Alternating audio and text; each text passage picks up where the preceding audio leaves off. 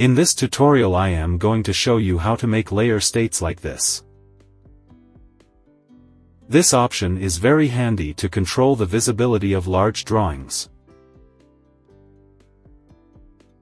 Let's start the tutorial.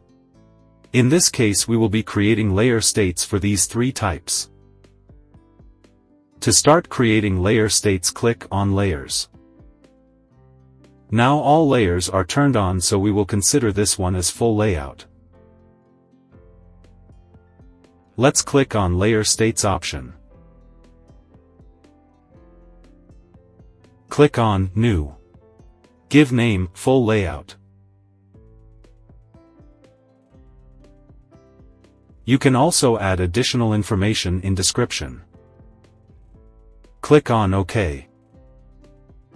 Click on Close. Let's create layer state for columns and grid.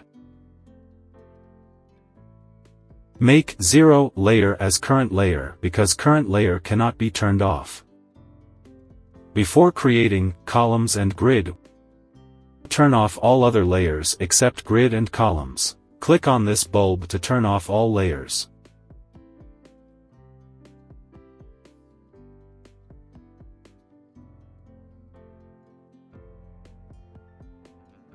We can see now only columns and grids are displayed. Let's click on Layer States again. Click on New. Give name columns and grid.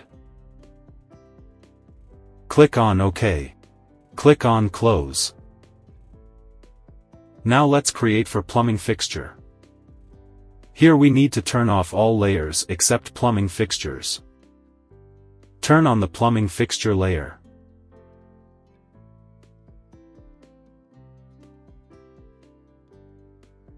We can see now only plumbing fixtures are displayed. Let's click on Layer States again.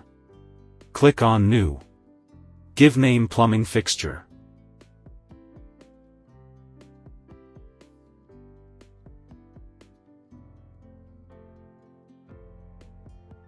Again you can also add additional information in description. That's it.